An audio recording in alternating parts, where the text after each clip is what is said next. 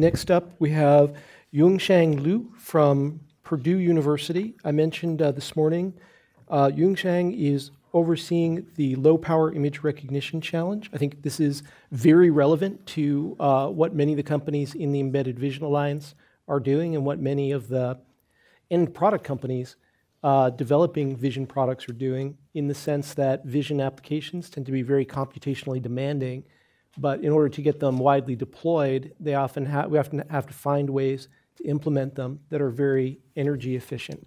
Uh, and the low power image recognition challenge is, I think, a, a very helpful uh, way to encourage people in that direction and illuminate uh, some of the progress in that direction. So, Yung-Hsiang, welcome. Okay, thank you very much. Thank you for giving me the opportunity to speak here.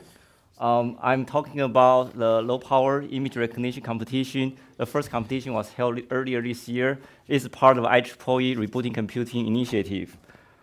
Why do we want to do this? I think uh, only, even though I have been here for only half a day, I have heard a lot of people talk about mobile, uh, UAV, and so on.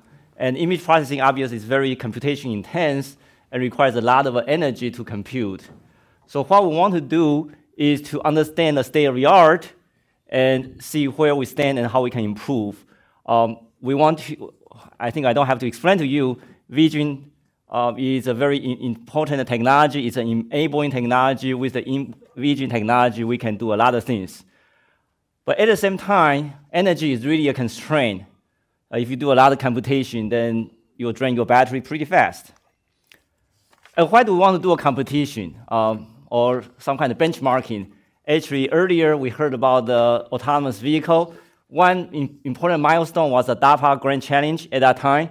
Uh, before the challenge, actually the first time the challenge was launched, no team actually passed. Then the second year, I believe three teams uh, actually finished, uh, reached a finish line. So it was a very important milestone. And also the X Prize for spacecraft.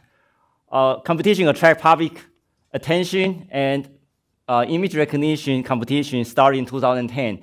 What we have done is to add the energy component. Your score is the accuracy of a, of a recognition divided by energy. As simple as that.